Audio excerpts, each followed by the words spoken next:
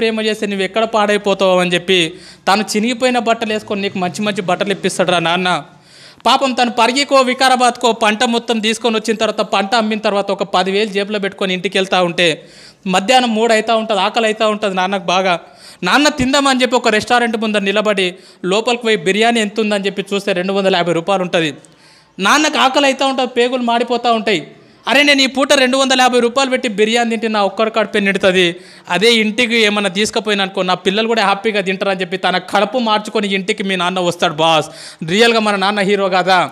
ఎన్నోసార్లు ఒక్కసారి ఇంటికి వెళ్ళిన తర్వాత నాన్న నీతో ఫ్రీగా ఉంటే అడగండి నాన్న నీకు ఎన్ని కష్టాలు ఉన్నాయని చెప్పి పెద్ద చిట్టా చెప్తాడు బాస్. ఎన్నో అప్పులు ఉన్నాయి నాన్నకు ఎన్నో ప్రాబ్లమ్స్ ఉన్నాయి నాన్నకు. అమ్మ మీరు ఆడపిల్లలాగా పుట్టినరు రియల్గా మీ అమ్మ నాన్నకు సెల్యూట్ మిమ్మల్ని చదివిపిస్తున్నారు. మీ రియల్గా సెల్యూట్ వాళ్ళకి. ఎందుకంటే ఆడపిల్ల పుట్టిందని చెప్పి చాలామంది బాధపడుతూ ఉన్నారు.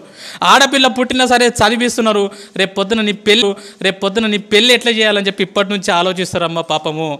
నా కూతురికి ఎలాంటి భర్తను తీసుకురావాలి? ఎంత కట్నం ఇవ్వాలి? ఎంత బంగారం పోగు చేయాలని చెప్పి పాపం నాన్న పిచ్చోన్లాక బయట నీ కోసం కష్టపడుతున్నాడు రా ఈరోజు హ్యాపీగా ఇక్కడ నవ్వుకుంటా కూర్చున్నావు కదా ఇంటికి వెళ్తే నాన్నని ముఖం మీద తిడుతున్నావు కదా పెద్దగా అయిపోయినావు అని చెప్పి టెన్త్ క్లాస్కి వచ్చినావు అని చెప్పి. కానీ ఈ టైం మీ నాన్న గురించి ఆలోచన చేయి ఎక్కడ నువ్వు చేన్లో పని చేస్తున్నాడు పాపం కూలి పని చేస్తున్నాడు పాపం ఆటో నడిపిస్తున్నాడు పాపం.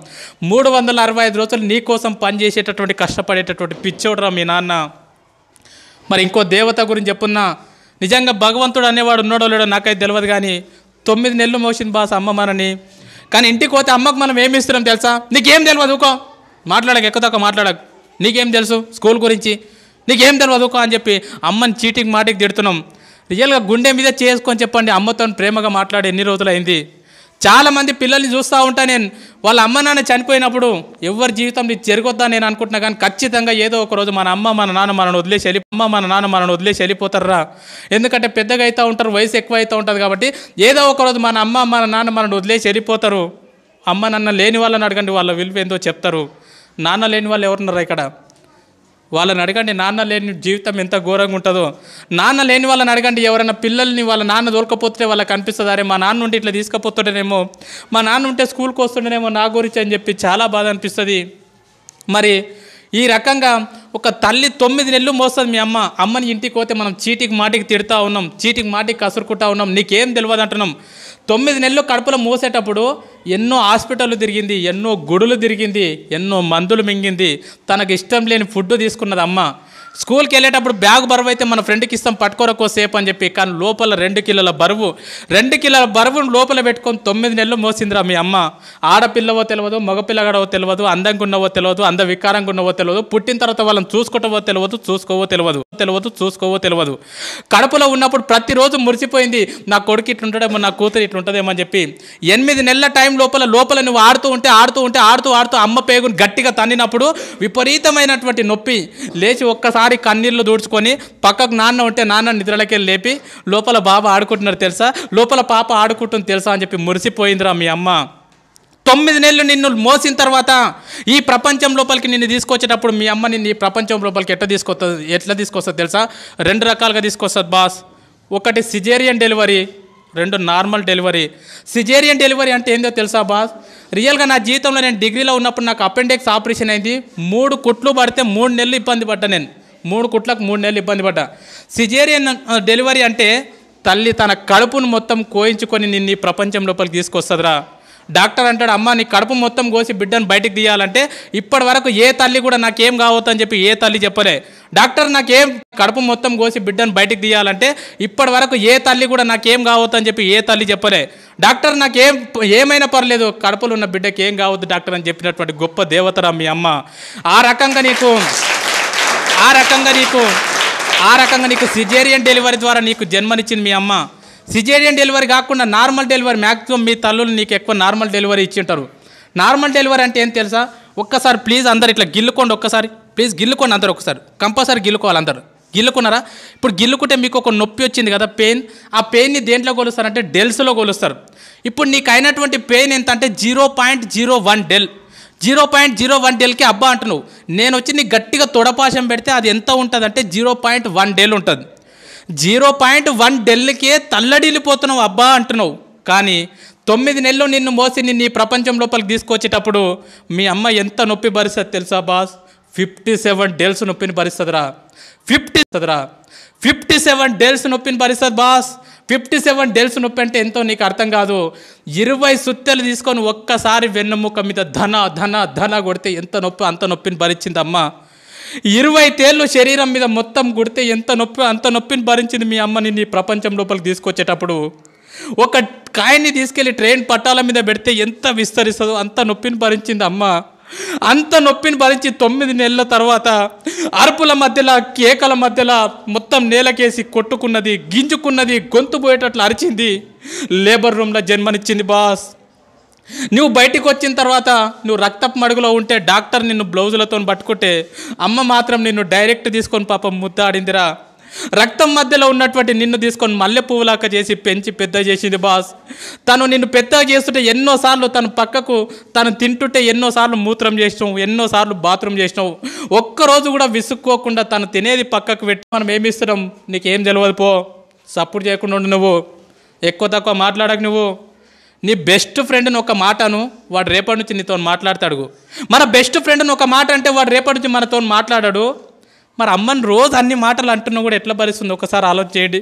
ఎన్ని మాటలు అన్నా కూడా నువ్వు ఎన్ని బాధలు పెట్టినా కూడా ఈ ప్రపంచం లోపల మళ్ళీ నిన్ను అంతే ప్రేమగా చూసే దేవత ఎవరంటే మీ అమ్మనే బాస్ మీ అమ్మనే బాస్.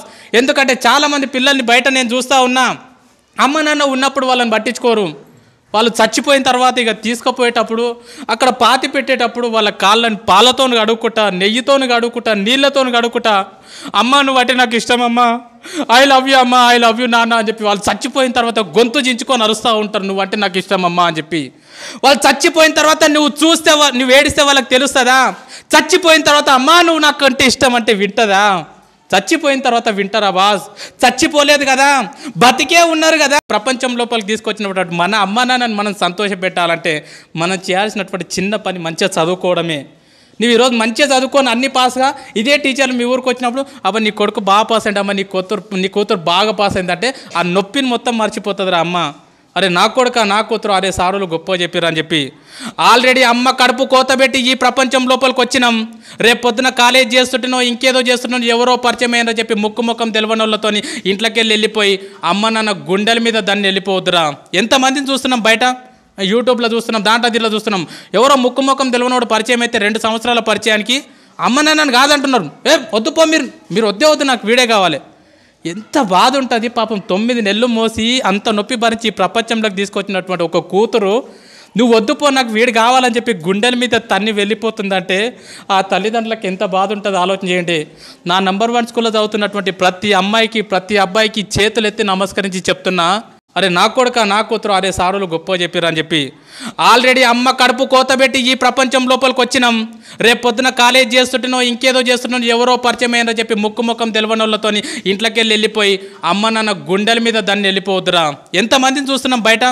యూట్యూబ్లో చూస్తున్నాం దాంట్లో దీంట్లో చూస్తున్నాం. ఎవరో ముక్కు ముఖం తెలియనోడు పరిచయం అయితే రెండు సంవత్సరాల పరిచయానికి అమ్మ నాన్నని కాదంటున్నారు. ఏ వద్దుపో మీరు. మీరు వద్దే వద్దు నాకు వీడే కావాలి.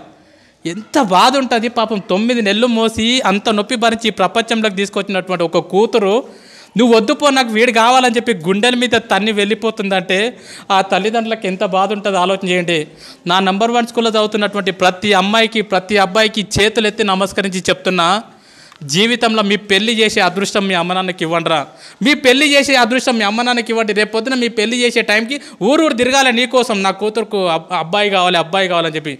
నా కొడుకుకు అమ్మాయి కావాలి అమ్మాయి కావాలని చెప్పి ఊరు తిరగాలి.